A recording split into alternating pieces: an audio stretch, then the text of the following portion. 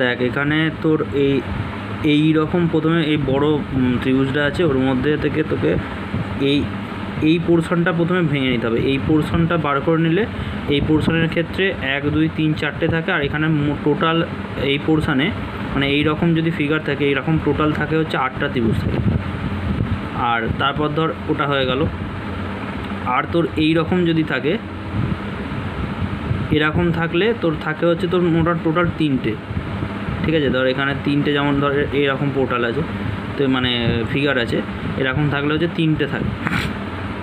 ঠিক আছে, তাহলে এবার এখানে ধর এখানে তোর ইয়ে মানে এটা হয়ে গেল, এটাতে তোর তার মানে আটটা, এরকম হলে আটটা থাকছে আর এরকম হলে তিনটে থাকছে।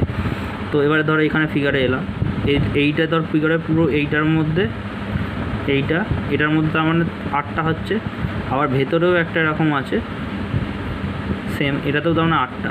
তার মানে দুটো আট দুগুণে ষোলোটা। ষোলোটা হয়ে গেল। এবার এখানে ধর এখানে ধর একটা এটাকে ভাগ হয়েছে, এক ত্রিভুজ হয়েছে, এটা একটা এটা দু একটা দুটো, এখানেও একটা, দুটো। তোমার টোটাল হলো চারটে। চারটে হয়ে গেল। আর এখানেও ধর ভেতরের ত্রিভুজ, ছোটো ছোটো ত্রিভুজগুলো ভাগ হয়েছে, এক, দুই, তিন, চার, পাঁচ, ছয়, সাত, আট, আটটা হয়েছে। তার মানে আবার আটটা যোগ হলো। তার মানে হলো আঠাশ।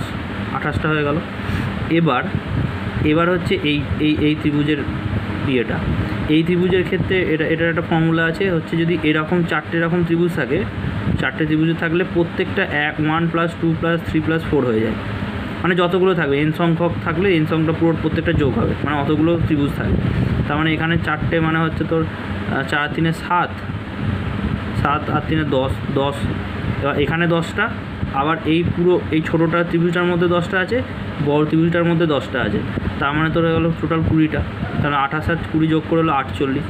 এবার এই একটা ত্রিভুজ, এইখান থেকে এই একটা এত বড় ত্রিভুজ হচ্ছে, আর এই একটা এত বড় ত্রিভুজ হচ্ছে।